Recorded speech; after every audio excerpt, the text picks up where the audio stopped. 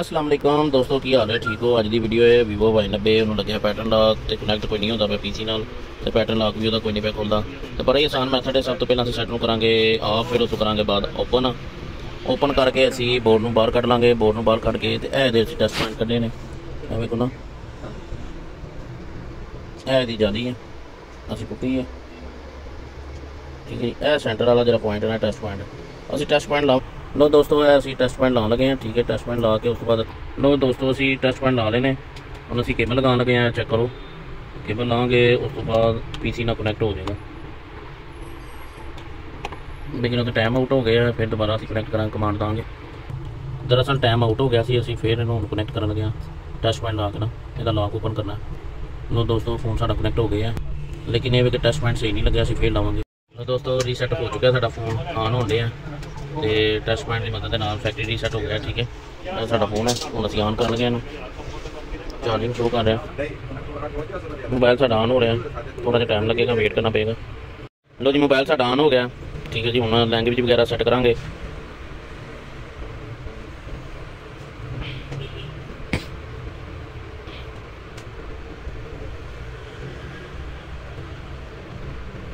ਹੁਣ ਸਕਿਪ ਵਗੈਰਾ ਕਰਾਂਗੇ। ਇੱਥੇ ਦੋ ਤੇ ਦੇਖਣਾ ਉਹਦੇ ਡਿੰਗ ਅੱਗੇ ਡਿੰਗ ਕੜੀਆਂ ਦੀ ਕਾਰਾਂ ਨੂੰ ਉਹ ਬੰਦ।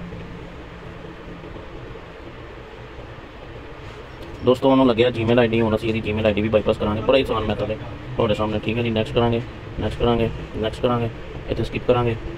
ਮੋਰ ਨੈਕਸਟ ਇੱਥੇ ਅਸੀਂ ਨਾ ਪੈਟਰਨ ਲੌਕ ਲਾ ਦਾਂਗੇ। ਠੀਕ ਹੈ ਜੀ।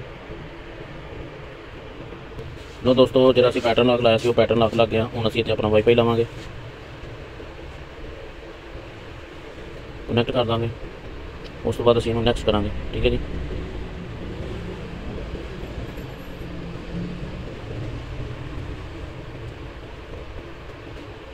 ਲੋ ਦੋਸਤੋ, ਜਿਹੜਾ ਅਸੀਂ ਪੈਟਰਨ ਲਾਇਆ ਸੀ, ਉਹ ਇੱਥੇ ਅਸੀਂ ਲਗਾਵਾਂਗੇ। ਤੇ ਸਾਡਾ ਜੀਮੇਲ ਜਿਹੜਾ ਨਾ ਆਈਡੀ, ਉਹ ਬਾਈਪਾਸ ਹੋ ਜਾਏਗੀ। ਵੀਵੋ ਦੇ ਫੋਨਾਂ ਸੀ ਨਾ, ਬੜਾ ਹੀ ਆਸਾਨ ਮੈਥਡ ਹੈ। ਇਹ ਦੇਖੋ ਸਕਿਪ ਆ ਆਪਸ਼ਨ